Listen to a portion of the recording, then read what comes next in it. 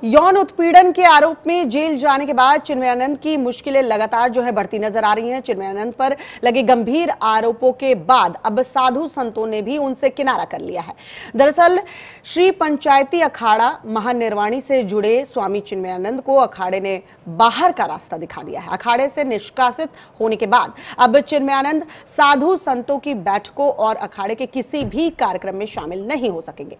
श्री पंचायती अखाड़ा महानिर्वाणी ने स्वामी चिन्मयानंद का पूर्ण रूप से बहिष्कार करने का फैसला कर लिया है। अखाड़ा का मानना है कि इस घटना से साधु संतों की छवि जो है, वो धूमिल हुई है।